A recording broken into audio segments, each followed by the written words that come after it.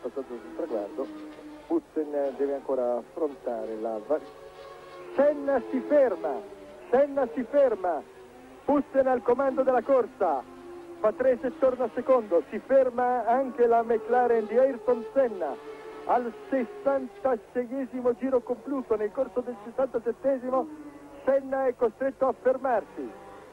Putzen al comando della corsa seguito da Riccardo Patrese